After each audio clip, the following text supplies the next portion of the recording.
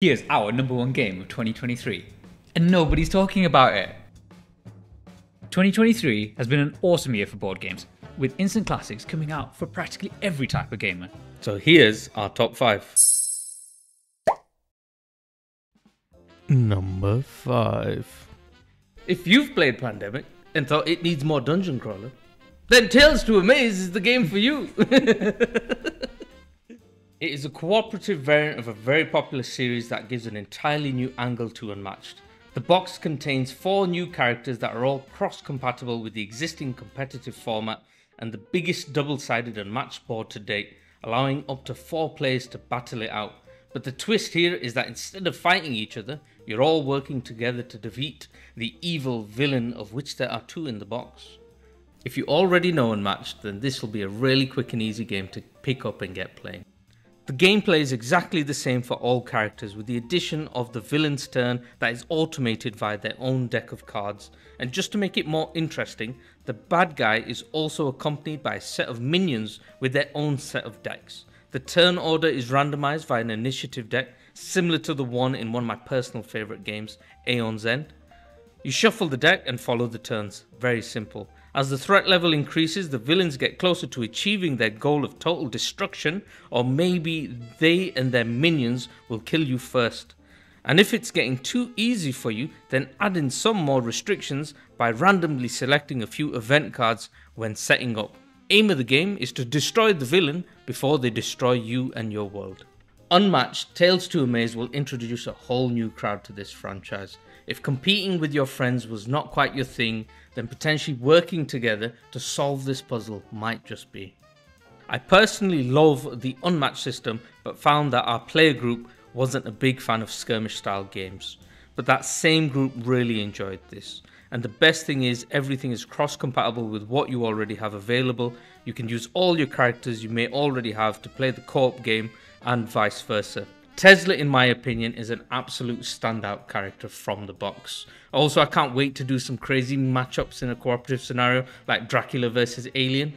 Absolutely amazing. This might just be the best version of Unmatched to date. Absolutely two thumbs up from me. Yeah, I totally agree We did that, so I'd, have to give this two thumbs up as well. Um, our last game when we played this Tesla, he, he's just so much fun to play. He's got this awesome mechanic with the two two cores you're trying to discharge. Super fun and he's going to be my go-to character from here on. Absolutely.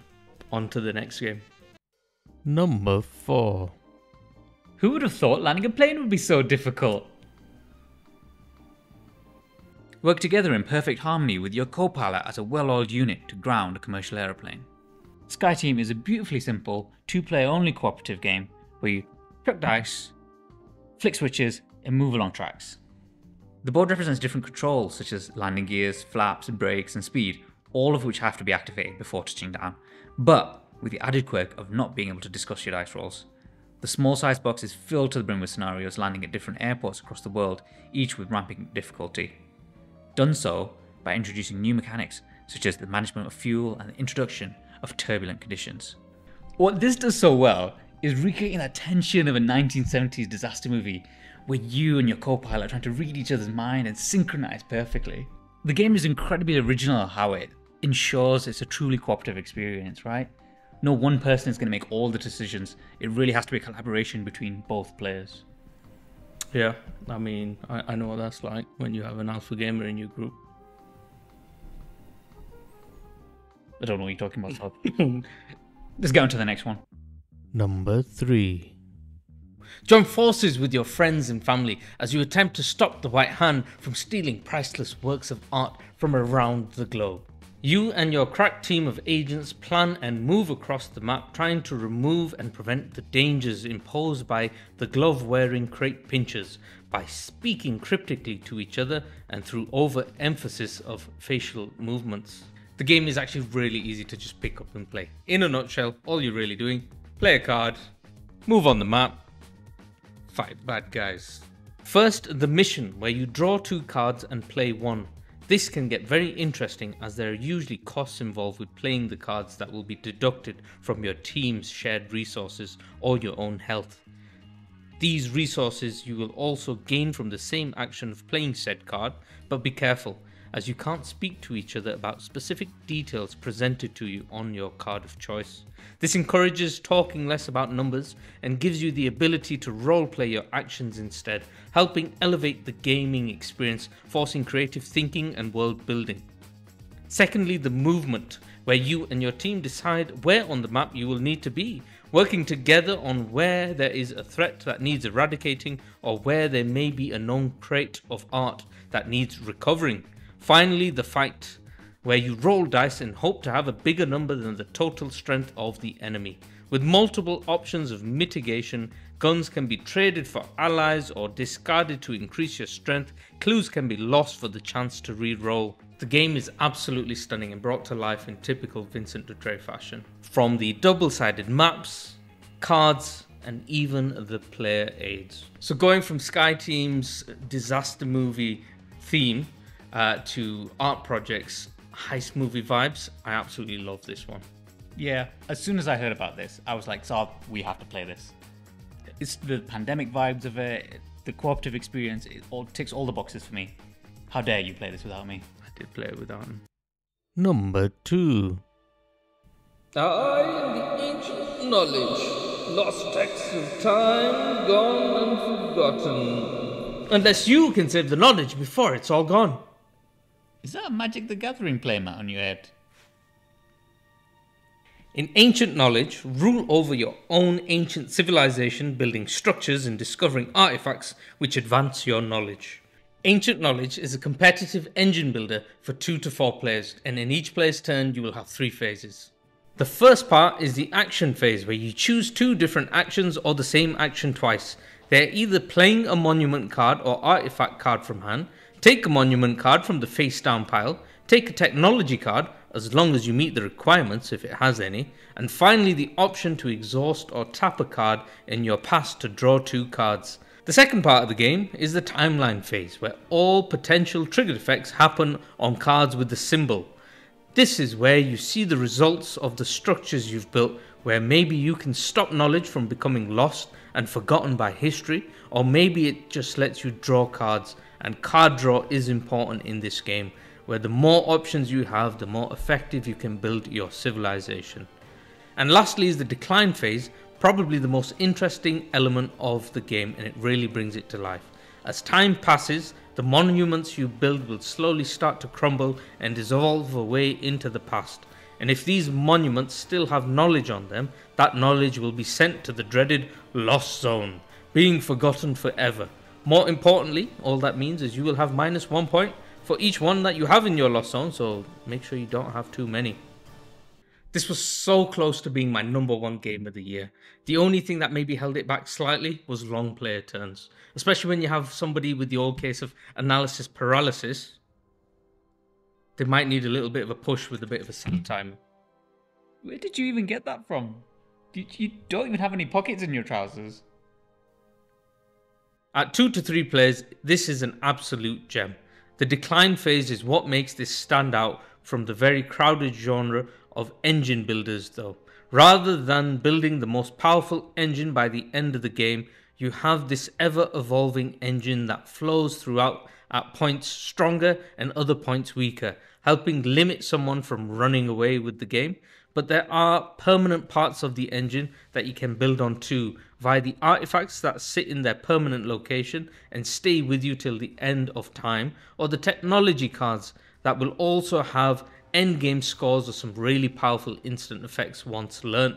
The monument cards are the meat of the mechanics with a mix of instant effects when played, effects when the card is lost to the past, and making things happen in the timeline phase.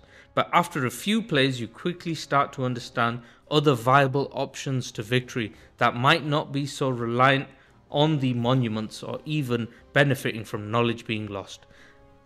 It is such an adaptive game and it's one that just keeps calling me back to get it back on the table play it again. I just i just want to play more of this thing.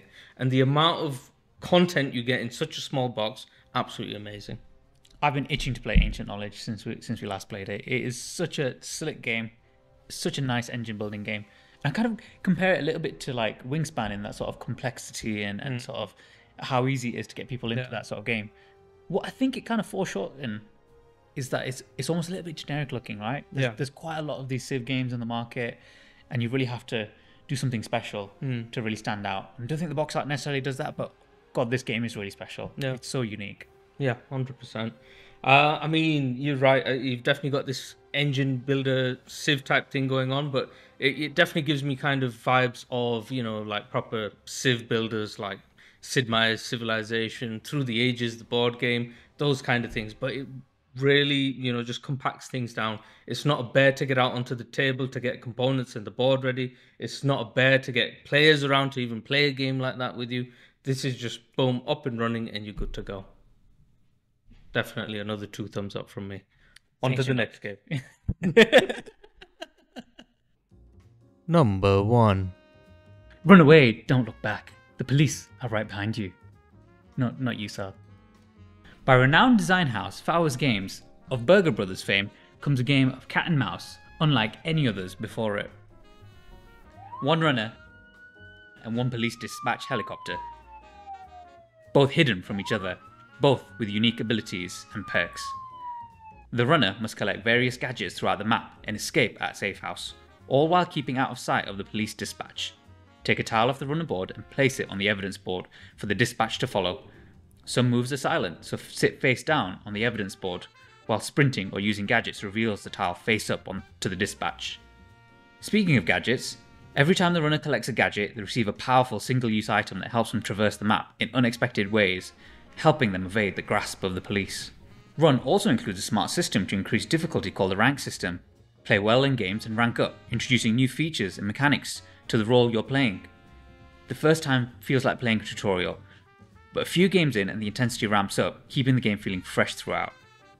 It also comes with a ton of maps, with totally different layouts and tools available to the players. Oh, and did I mention the unlockables? Get to rank 4 and open the secret research envelope, which unlocks an incredible. Uh, first, no spoilers. Oh, okay, fine. I won't say, but rest assured, you won't be disappointed. Now I'm a huge fan of hidden movement games. The immersion of the chase, the puzzle of trying to figure out where your opponent is. But it always ends up being this really large endeavor to try and get it to the table. Some of the best times I've had playing games are in Spectre Ops or Mind Management, but it really can be a struggle to get to the table. After all of the excitement of finally getting hold of Fury of Dracula, we played it a whole one time. It's a great game, but it's complex, it's a tough teach, and usually requires a lot of players for that perfect experience. Yeah, Run really gives me that kind of fugitive vibe, or you know, I think even more closer to Catch Me If You Can. Um, you know, the the whole '60s art, pop art style stuff going on. I just, yeah, it's it's right up my street. Yeah, you should totally just watch an opening to uh, Catch Me If You Can. And if this doesn't scream that, then I don't know what else does.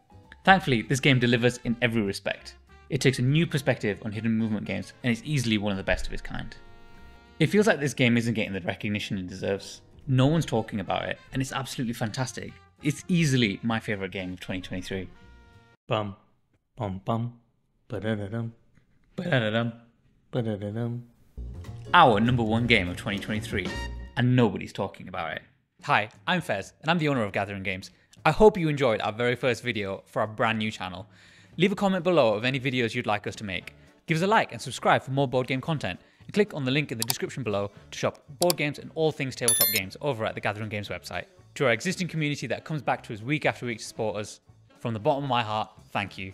You guys rock. GG. On to the next game. And that's ancient knowledge for you. on to the next game. I said that's ancient knowledge. No, I said that's on to the next game. Take your time, man. what Sky Team does so well is recreating that tension of a 1970s disaster movie where you stare at your co-pilot intensely, trying to synchronize.